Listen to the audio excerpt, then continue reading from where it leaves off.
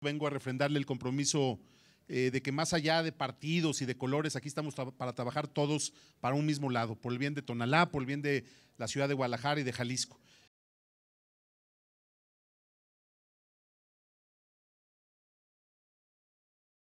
Estamos visitando hoy eh, esta y una escuela más que estamos eh, ya terminando.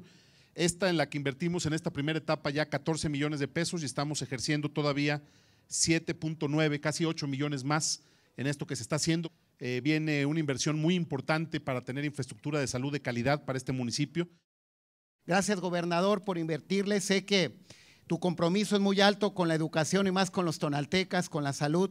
Y en este municipio y en este fraccionamiento que tiene muchas, muchas necesidades. Darle las gracias por sus finas atenciones y por la situación que nos están este, haciendo ahorita los módulos y agradecer porque es un beneficio para la comunidad educativa.